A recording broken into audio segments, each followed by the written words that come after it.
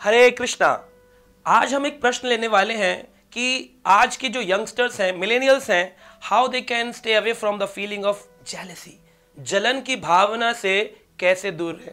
देखिए, जलन की भावना ऐसी है, सामने से तो आप खुश दिखाई देंगे, लेकिन अंदर से आप जल रहे होंगे, इसलिए इसका नाम जलन की भावना है।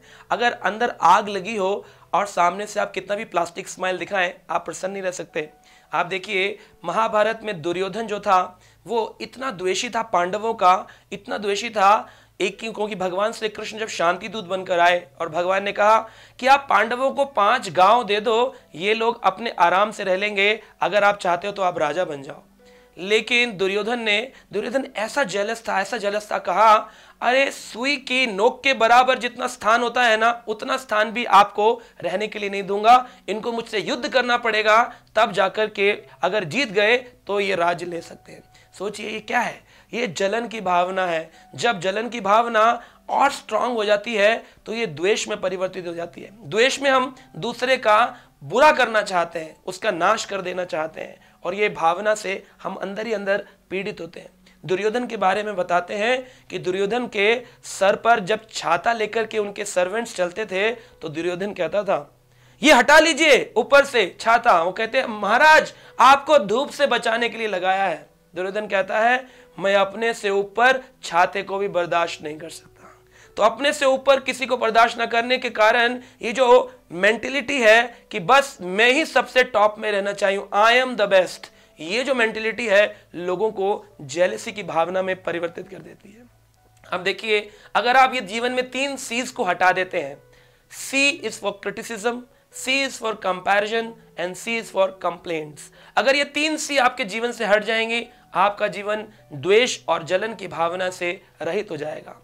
इस जलन की भावना के एक उत्तम कैटेगरी होती है, जिसको कहते हैं मत्सर की भावना। मत्सर शब्द को कई बार मच्छर से भी बताया जाता है कि मच्छर जो है ना, वैसा होता है मत्सर मच्छर कैसा होता है? खून चूसने वाला। खून चूसता है दूसरों का और फिर चूस करके बिना बताए उड़ जाता है। ऐसे ही जब ये जलन की भावना द्वेष और द्वेष से मत्सर में बन जाती है, आदमी दूसरे का विनाश करता है, उसी का सब कुछ छीन लेना चाहता है। जैसे दुर्योधन के अंदर द्वेष से मत्सर तक परिवर्तित हो गया था। सारा युद्ध करके इतने हज़ारों लोगों का उसने वध करवा दिया सिर्फ़ इसलिए कि मुझे गद्दी चाहिए। तो आपको ये क्रिटिसिज्म दूसरों का क्रिटिसिज्म करना बंद करने चाहिए। क्रिटिसिज्म क्यों होता है? बिकॉज़ कंपैरिजन होता है। कंपैरिजन बंद हो जाएगा कि उसके पास पाँच लाख क्यों और मेरे पास साढ़े चार लाख क्यों? पहली चीज़ है कंपैरिजन वो गोरा क्यों? मैं काला क्यों? वो पतला क्यों? मैं मोटा क्यों? वो हाई सैलरी पैकेज में क्यों? मैं लो सैलरी पैकेज में क्यों? ये कंपैरिजन आपको बंद करना चाहिए। जैसे ही आप कंपैरिजन बंद करेंगे तो फिर आपके ये दो सीज होने बंद हो जाएँगे। अगर आप कंपैरिजन करते हैं तो इससे दो सीज क्रिएट होते हैं। सेकंड है कंप्लेनिंग आप उस व्यक्ति की हमेशा कंप्लेन करते रहेंगे। अरे अरे ऐसे ही ना चीटिंग करके बड़ा आदमी बन गया है। ऐसा नहीं है। अगर लॉयल्टी से चलता तो मेरे जैसा होता। मेरे पास ज़्यादा इसलिए नहीं है क्योंकि मैं लॉयल हूँ, क्योंकि मैं रॉयल हूँ। लेकिन दूसरे वाले के लिए कंप्लेंट करते रहेंगे कंप्लेंट करते रहेंगे और कंप्लेंट करते करते एक दिन क्रिटिसिज्म में बदल जाएँगे, जलन की भावना आ जाएगी, द्वेषी हो जाएँगे।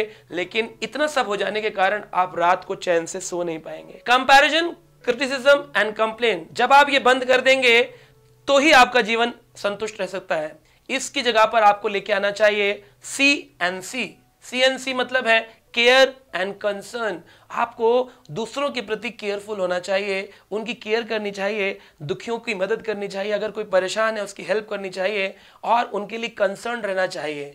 हम लोग क्या है, दूसरों की मदद नहीं करते हैं, दूसरों की केयर नहीं करते हैं, दूसरों के लिए कंसर्न नहीं रहते हैं, सिर्फ़ अपने केयर करते हैं, अपने लिए कंसर्न रहते हैं और दूसरों से कंपेयर करते हैं, उसके कारण कंप्लेंट्स होती हैं और फिर दूसरों को क्रिटिसाइज करते हैं, इसीलिए मेंटल टेंशन में रहते हैं। अगर हम ये बंद कर देंगे हमारा जीवन आनंद से भरपूर हो जाएगा हरे Krishna Press the bell icon to never miss a video from One World News.